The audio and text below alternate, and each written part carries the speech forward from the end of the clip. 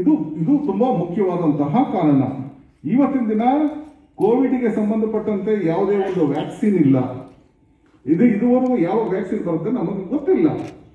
Vaccine ಬರೋವರೆಗೂ ನಮ್ಮಲ್ಲಿ ಇರುವಂತ ಎಫೆಕ್ಟಿವ್ ವ್ಯಾಕ್ಸಿನ್ ಅಂದ್ರೆ ಮಾಸ್ಕ್ ಮತ್ತೆ ಸೋಷಿಯಲ್ ಡಿಸ್ಟೆನ್ಸಿಂಗ್ ನಗರದಲ್ಲಿ ಮಾಸ್ಕ್ಗಳನ್ನ ಹಾಕೋದಕ್ಕೆ ಎನ್ಫೋರ್ಸ್ಮೆಂಟ್ ಮಾಡೋದಕ್ಕೆ ಸೋಷಿಯಲ್ ಡಿಸ್ಟೆನ್ಸ್ ಎನ್ಫೋರ್ಸ್ಮೆಂಟ್ ಮಾಡೋದಕ್ಕೆ ಬಿಬಿಎಂಪಿ ಕಡೆಯಿಂದ ಸುಮಾರು ಇನ್ನೂರ ಇಪ್ಪತ್ತು ಜನ ಮಾರ್ಷಲ್ಸ್ಗಳು ಕೆಲಸ ಮಾಡ್ತಾ ಇದ್ದಾರೆ.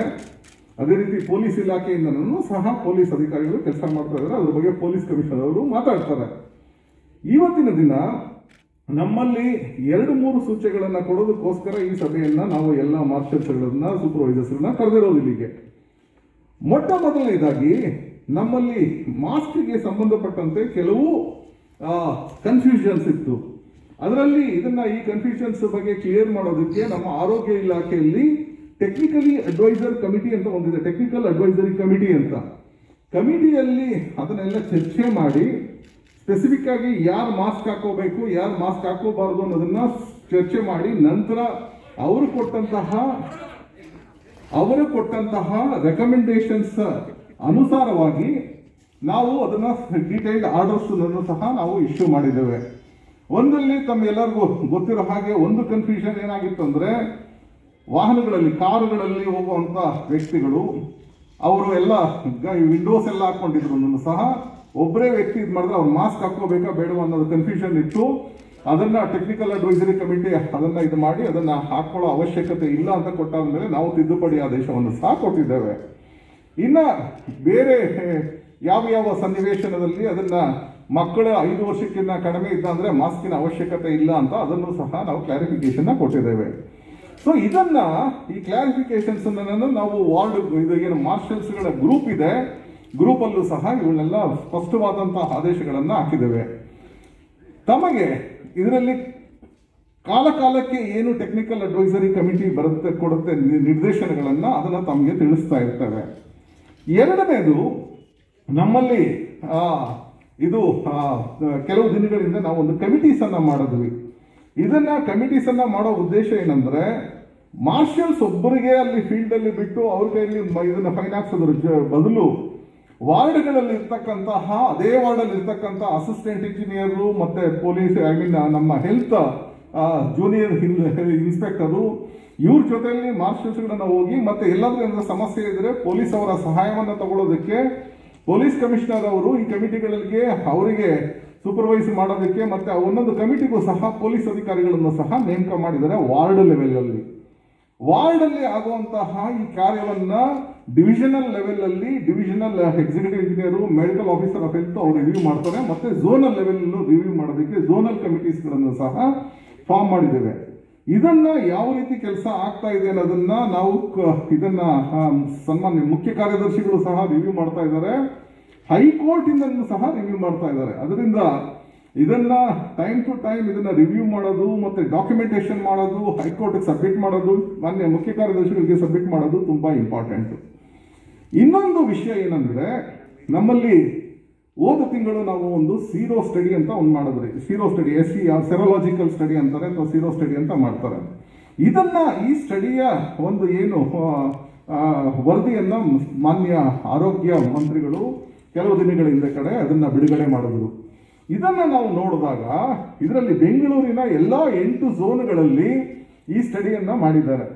ಇದು ಮಾಡಿದಾಗ ಇದರಲ್ಲಿರುವಂತಹ ಅಂಕಿಅಂಶಗಳಿಂದ ನಮ್ಗೆ ಏನು ಗೊತ್ತಾಗುತ್ತೆ ಅಂದ್ರೆ ಬೆಂಗಳೂರು ನಗರದಲ್ಲಿ ನಮ್ಮ ಕೋರ್ ವಲಯ ಬಂದಿದ್ರು. ಈಗ ನೋಡಿ ನಿಮಗೆ ಆಶ್ಚರ್ಯ ಆಗ್ಬೋದು. ಯುರೋಪ್ ಇನ್ನೊಮ್ಮೆ ಕ್ಲೋಸ್ ಆಗಿಬಿಟ್ಟಿದೆ. ನಿನ್ನೆ ನಾನೊಬ್ಬರು ಬಹಳ ಹಿರಿಯವರಿಗೆ ಡೆಲ್ಲಿಯಲ್ಲಿ ಮಾತಾಡ್ತಾ ಇದ್ದೆ. ಡೆಲ್ಲಿಯಲ್ಲಿ ಕೂಡ ಪೀಕ್ ಅಪ್ವರ್ಡ್ ಹೋಗೋ ಶುರು ಆಗಿದೆ ಈಗ. ಅಲ್ಲಿ ಕೇಸ್ ಐದು ಸಾವಿರಗೆ ಇನ್ನೂ ಟಚ್ ಆಗ್ತಾ ಇದೆ. ನಾವು ಕಡಿಮೆ ಹೋಗ್ತಾ ಇದ್ದೀವಿ ಇದು ಸಂತೋಷದ ಸಂಗತಿ. ಆದರೆ ನಾವು ಇದು ಯಾವ ಕಾರಣಕ್ಕೆ ಇಲ್ಲಿ ಮಾತ್ರ ನಿಲ್ಲಬಾರ್ದು ಇಲ್ಲಿಂದ ಮೇಲೆ ಹೋಗಲೇಬಾರದು. ಇದು ನಮ್ಮದು ನಿಮ್ಮದು ಒಟ್ಟಿಗೆ ಒಂದು ಜಾಯಿಂಟ್ ರೆಸ್ಪಾನ್ಸಿಬಿಲಿಟಿ ಇದೆ ಅಂತ ನಾವೆಲ್ಲ ಇದು ಚೆನ್ನಾಗಿ ಅರ್ಥ ಮಾಡ್ಕೋಬೇಕು. ನಮ್ಮ ಕಾರ್ಯಾಚರಣೆ ಇನ್ನೂ ಜೋರಾಗಿ ಆಗಬೇಕಾಗುತ್ತದೆ. ಮತ್ತೆ ಜನರಿಗೆ ಕೂಡ ಈ ಬಗ್ಗೆ ನಾವು ಸರಿಯಾದ ರೀತಿಯಿಂದ ಮಾಹಿತಿ ಕೊಡಬೇಕು, ಅರಿವನ್ನು ಮೂಡಿಸಬೇಕಾಗುತ್ತದೆ. ಅಲ್ಲ, ಸರಿಯಾಗಿದೆ, ಈಗ ಯಾವ ಚಿಂತೆ ಇಲ್ಲ, ಎಲ್ಲಿ ಬೇಕೋ ಹೋಗ್ಬೋದು, ಎಲ್ಲಿ ಬೇಕೋ ಹೇಗೆ ಮಾಡ್ಬೋದು, ಸಂತೆ ಇರಲಿ ಮಾರ್ಕೆಟ್ ಇರಲಿ, ಹಬ್ಬ ಇರಲಿ, ಮದುವೆ, ಆ ಕಾರ್ಯಕ್ಕೆ ಅದು ಈಗ ಅವಕಾಶ ಇಲ್ಲ. ಇದು ನಿಮ್ಮಿಂದನೇ ಆಗೋದು ಸಾಧ್ಯ ಇದೆ. ಅದ್ರ ಜೊತೆ ನಮ್ಮ ಸಿಬ್ಬಂದಿಯವರು ಕೂಡ ಕೆಲಸ ಮಾಡ್ತಾರೆ. ಇತ್ತೀಚೆಗೆ ಎನ್ಫೋರ್ಸ್ಮೆಂಟ್ ಚೆನ್ನಾಗಿ ನಡೀತಾ ಇದೆ.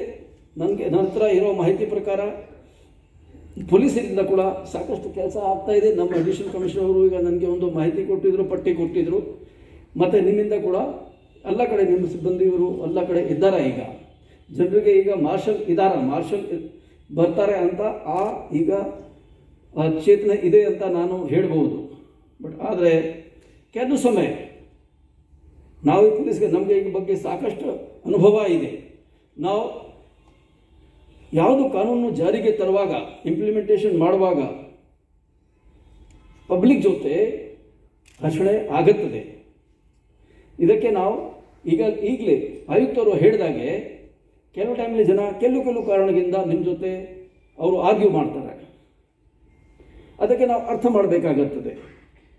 ಒಂದು ಭರವಸೆ ನಿಮಗೆ ಕೊಡ್ತೇನೆ. ನಿಮಗೆ ಅದಕ್ಕೆ ಅನುಭವ ಕೂಡ ಇರ್ಬೋದು. ನಿಮಗೆ ಯಾರು ನಿಮ್ಮ ಜೊತೆ ಸರಿಯಾಗಿ ವರ್ತನೆ ಮಾಡಲಿಲ್ಲ. ನಿಮ್ಮ ಮೇಲೆ ನಿಮ್ಮ ಕೆಲಸಕ್ಕೆ ಅಡ್ಡಿ ಮಾಡಿದರೆ ನಿಮ್ಮ ಮೇಲೆ ಹಲ್ಲೆ ಮಾಡಿದರೆ ಖಂಡಿತ ನಾವು ಅವ್ರಿಗೆ ಸುಲಭವಾಗಿ ಬಿಡಲ್ಲ. ನಿಮಗೆ ವೈಟ್ ಫೀಲ್ಡ್ ಕೇಸ್ ಗೊತ್ತಿರ್ಬೋದು? ವೈಟ್ ಫೀಲ್ಡ್ ಇನ್ಸಿಡೆಂಟು ಆ ಥರ ನಿಮಗೆ ನೀವು ಜನರ ಸಲುವಾಗಿ ಈ ಕೆಲಸ ಮಾಡುವಾಗ, ಜನರ ಸಲುವಾಗಿ ಜನರಿಗೆ ಭದ್ರತೆ ಮಾಡಿಕೊಳ್ಳುವಾಗ, ತಮ್ಮ ಜೀವನಕ್ಕೆ ರಿಸ್ಕ್ ತಗೊಂಡು ಈ ಮಾಸ್ಕ್ ಇಲ್ಲದೆ ಜನರ ಹತ್ರ ಹೋಗಿದಾಗ, ಕೆಲಸ ಮಾಡುವಾಗ ನಿಮಗೆ ಯಾರು ಹಲ್ಲೆ ಮಾಡಿದರೆ ತೊಂದರೆ ಕೊಟ್ಟರೆ ಅವ್ರಿಗೆ ನಾವು ಕಾನೂನು ರೀತಿಯಿಂದ ಜೈಲು ಕಳಿಸ್ಲಿಕ್ಕೆ ಬದ್ಧರಾಗಿದ್ದೀವಿ. ನೀವು ಯಾವ ಕಾರಣಕ್ಕೆ ಹೆದರಬಾರ್ದು? ಇದು ನೀವು ಯಾವ ಬಟ್ಟೆ ಹಾಕೊಳ್ಳಿ, ಅವಾಗ ಯಾವ ಬಣ್ಣದ್ದು ಹಾಕಲಿ? ಕ್ಯಾಮೋಫ್ಲಾಜ್ ಹಾಕಿರ್ತಿ ಹಾಕಿರ್ತೀರಿ ನಿಮಗೆ ಏನು ರಕ್ಷಣೆ? ಹಾಕಿದ್ದೀರಿ ಅಷ್ಟೇ ರಕ್ಷಣೆ. ನಿಮಗೆ ಕೊಡೋಕ್ಕೆ ನಾವೆಲ್ಲರೂ ಬದ್ಧರಾಗಿದ್ವಿ